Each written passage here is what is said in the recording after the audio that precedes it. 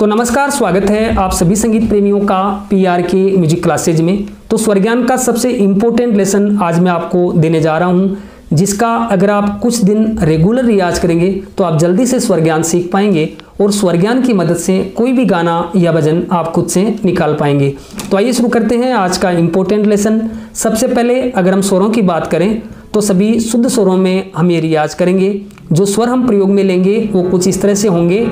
सा, रे, गा, मा, पा, धा, नी, सा। तार सप्तक में सा, रे, गा तक के स्वरों का प्रयोग कर सकते हैं। मंदिर सप्तक में नी, धा और पा, इन स्वरों का आपको प्रयोग करना है। रियाज आपको कैसे करना है? इसमें कोई नियम लागू नहीं होता है। जो आपके दिल में आए, वो स्वर आप लगा सकते हैं और जो आपके दिल में आए, वो आप गुनगुना सकते हैं। सिर्फ़ आपको इतना ध्यान रखना है कि सा, गा और पा, ये तीन इंपॉर्टेंट स्वर होते हैं। इनको ध्यान में रखते हुए आपको रियाज करना है, क्योंकि अधिकतर गाने और जो भजन होते हैं, उनकी शुरुआत इन्हीं तीन स्वरों से ज़्यादातर होती है। उठाव भी इन्हीं तीन स्वरों से होता है और ठहराव भी इन्हीं तीन स्वरों पे ज़्यादा से ज़्यादा होता है। तो इस बात को ध्यान में रखते हुए आपको रियाज करना है। शुरुआत आप गा से कर सकते हैं, पा से कर सकते हैं, तार सप्तक के साथ से कर सकते हैं या मध्य सप्तक के साथ से कर सकते हैं। ठहराव हमारा जो रहेगा, वो हमारा जो मूल स्वर है, सा उसी पे रहेगा। किस तरह से आपको रियाज करना है? सबसे पहले आकार में रियाज करना है और उसके बाद में आवाज़ मिलाकर कुछ ना कुछ गुनगुनाना है जो आपके दिल में आए। तो किस तरह से करेंगे? आ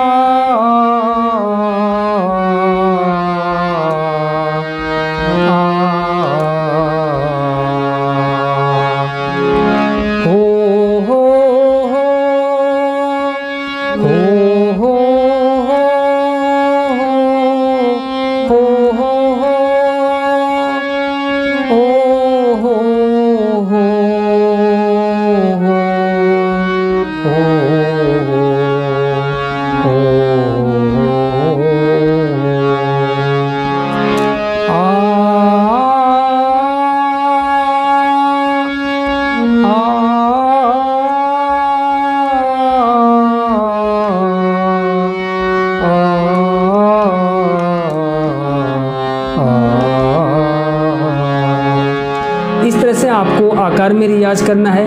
किसी भी स्वर को आप दो बार, तीन बार या चार बार या इससे भी अधिक बार प्रेस कर सकते हैं। किस तरह से? आ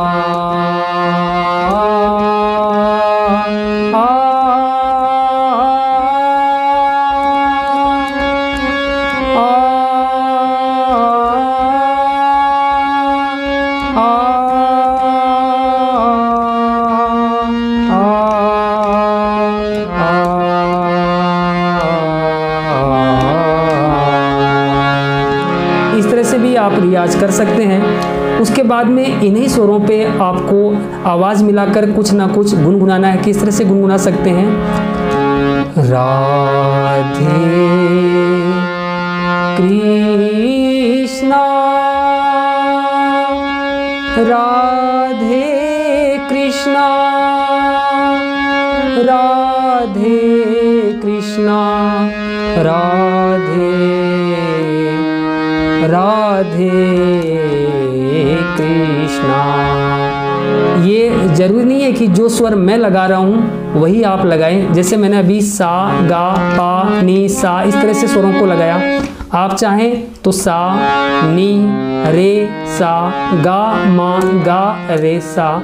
तो कहने का मतलब है, इसमें कोई नियम लागू नहीं होता है। जो आपके दिल में आए, वो स्वर आप लगा सकते हैं। और जो आपके दिल में आए, वो आप गुनगुना सकते हैं। तो किस तरह से रियाज करना है?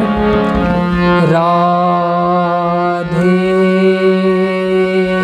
कृष्णा।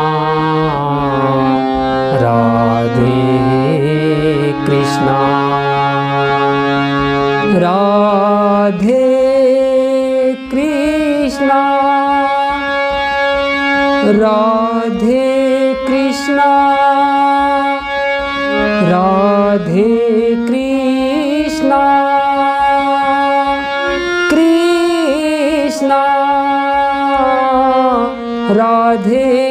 कृष्णा।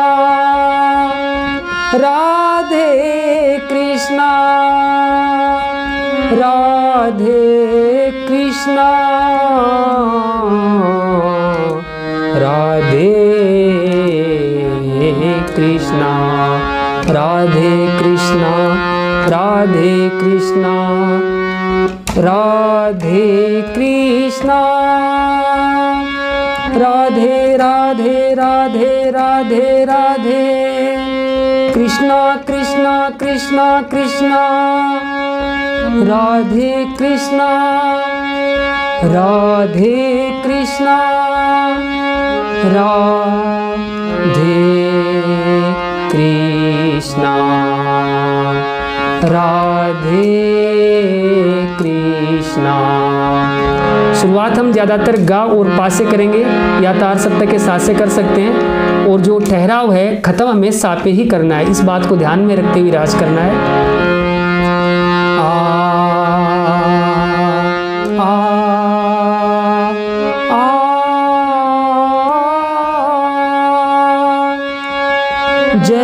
श्री राम जय श्री राम जय श्री राम जय श्री राम जय श्री राम जय श्री राम जय श्री राम जय श्री राम जय श्री राम जय श्री राम जय श्री राम जय श्री राम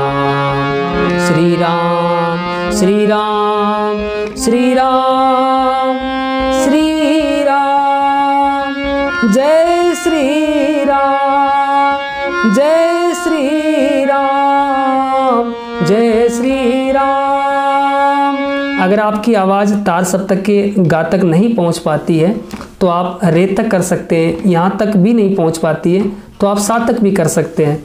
तो कहने का मतलब है, कोई नियम नहीं है जो आपके दिल में आ रहा है, वो स्वर आप लगा रहे हैं और जो आपके दिल में आ रहा है, वो आप गुनगुना रहे हैं। इस तरह से आपको ये लेसन कंप्लीट करना है। मैंने सभी शुद्ध स्वरों में आपको ये लेसन बताया है। आपको कम से कम छः थाट में रियाज करना है। बिलावल कल्याण खमाज, काफ़ी आसावरी और भैरवी। अगर इन छः थाटों में आप रियाज करते हैं तो आपके सभी 12 स्वरों का रियाज कंप्लीट हो जाता है और अगर आप 12 स्वरों के उतार चढ़ाव को अच्छे से समझ पाते हो तो आप स्वर ज्ञान सीख जाते हो और स्वर ज्ञान की मदद से कोई भी गाना या भजन आप खुद से निकाल सकते हो। तो ये था आज का लेसन, कैसा लगा? कमेंट करना ना भूलें।